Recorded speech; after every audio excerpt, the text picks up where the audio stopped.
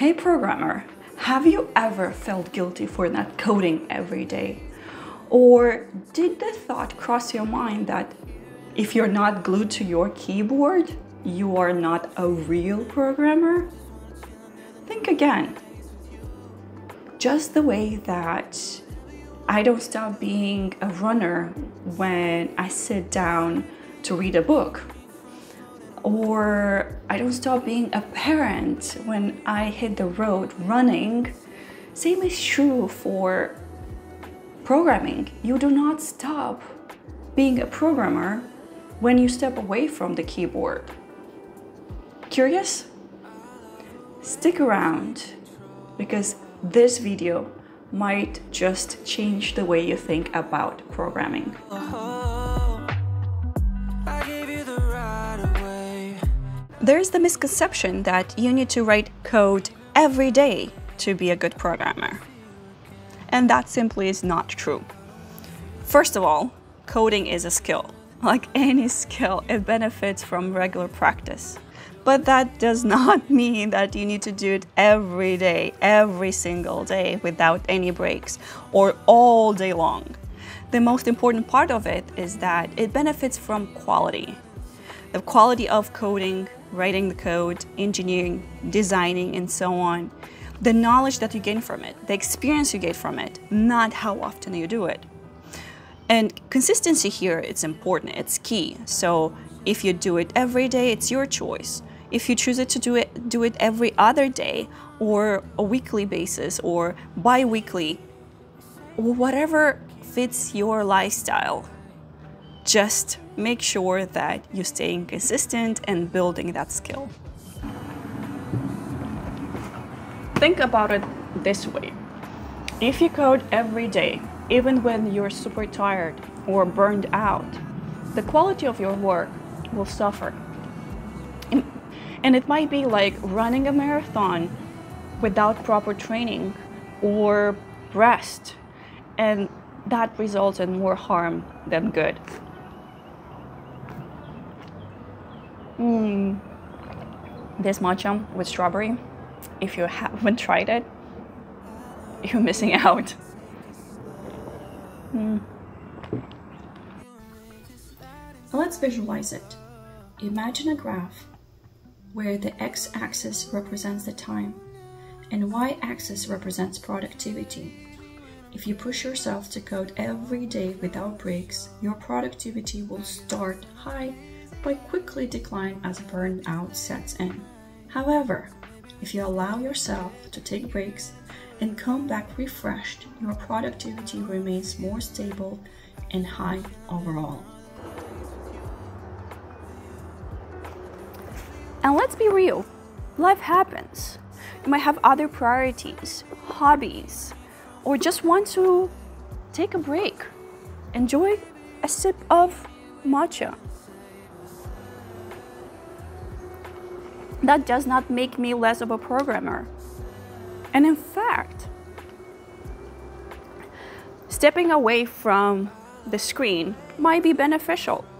How many times have you found yourself that you come up with fresh new ideas when you're on a walk or like taking a shower and suddenly voila I know how to fix that bug that gnarly nasty bug that I spent hours debugging and then boom what I I'm taking a shower I know what I need to do honestly some of my best ideas came out to me that when I was not coding and actually was doing activities so that were not relating to code. Hmm. So taking a break or stepping away from the screen provides you with a new fresh perspective and ideas. Remember, being a programmer is about problem solving skills and critical thinking. And it's not only about coding and the act of writing the code. It's more about reading books, engaging in discussions, and even playing games all can contribute to your growth as a programmer.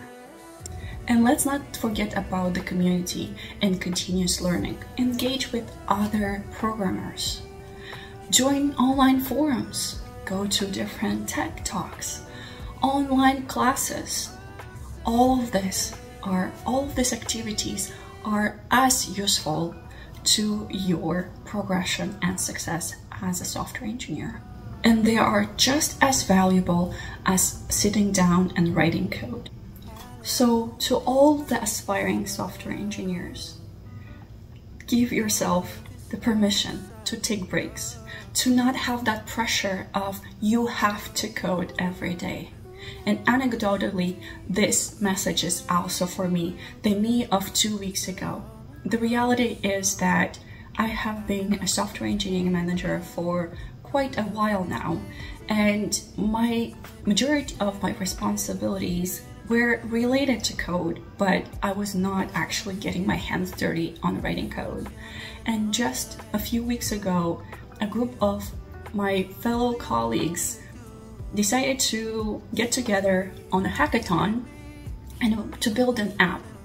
So I was excited about the idea. I wanted to do it, but I no longer thought I can do it. I was afraid, like I haven't coded in so long. And this is where the idea came in that I have to write code, well, at least once a week or something like that, or every day to be a programmer. And truth be told, there was this close um, that the, the situation was that I was about to say no, I will not do it because I didn't want to drag anybody down. I didn't want to slow anybody down. I didn't know if I can remember how to code and stuff like that. I thought it would be a slow ramping up. Somehow I decided to do it. And lo and behold, one of the days we're all kind of pair programming, trying to connect the database to, to the application and it's not working. And we could not figure out what it is. Then late at night when my team, I wanted to say family instead of team, uh, when everybody was sleeping, I put on some music, I put my lights, and I started to try to take it step by step, break it down into smaller pieces and try to do it. And to my surprise, I got it, it was working.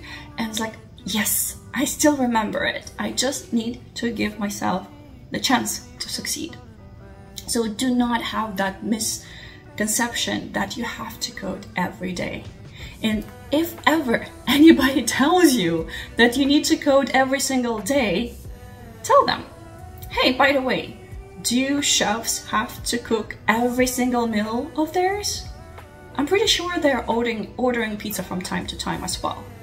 So if chefs can take a break and order food or something like that, why you can't as a programmer. You should be able to take breaks and you should not be coding or glued to your monitor and keyboard and terminal and IDE 24 7. That's just not sustainable. However, if that what you want to do and it brings you joy and you're super excited to do it, don't let anybody stop you. But that does not mean you have to do it every single day. If not, but it fuels you. If your fuel is somewhere else, do that. Get the fuel somewhere else and then come in, recharge with a fresh set of eyes and ideas and perspective and bring it in into pro uh, programming because that is your value.